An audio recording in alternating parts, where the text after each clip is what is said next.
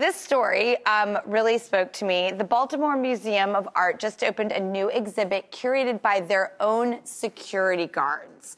The Week, my favorite magazine, reports the exhibit is called Guarding the Art, and it's up through July. So the museum asked 17 of their security guards that obviously are in the, you know, building all day, every day, mm-hmm. to select works from the collection that were important and meaningful to the security guards guard Ben Bjork picked a chair made out of pencils by artist Jeremy Aldean because Ben says he spends a lot of the day thinking about sitting down. well, yeah, right? Um, Ross. the fact that they got to choose to curate a show based on what they love just made me feel like it was so accessible and so doable. I felt, no, that's a show I want to go see. So well done to this museum. All right.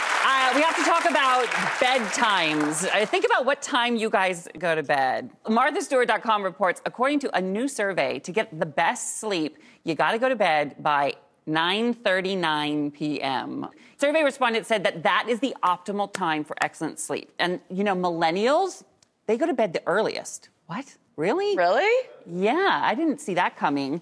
I feel like you're you're in like a night owl, right? I feel like the thing I struggle with with bedtime is pretty much everything else I struggle with in my life is I'm such an extremist who's totally inconsistent. I so want to be that type A person, but I'm a hot type B mess. Everybody who has it all scheduled out and is hitting the sack by 9:39 I'm so happy for you. I wish I was like you, and I'm just so not.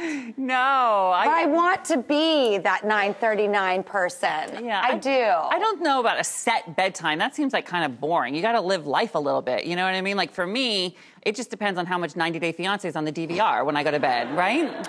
Funny enough, after the break, we're going to hit some more headlines um, with a fresh take from none other than one of the most important, talented comedians, comedian, Pete Holmes. In fact, Pete. Hi, Pete.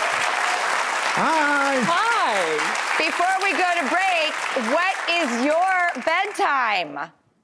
Well, we have a three-year-old, and she goes to bed at seven thirty, and we're so tired. That's when we'd like to go to bed. Yeah. But we stay up for four more hours because if we don't, she wins. and you want that time to yourself. And you have to. Otherwise, you you stay up all day with her, you're playing with her all day, and then you go to bed and then you just begin again. I need that 90 day fiance time. Thank you.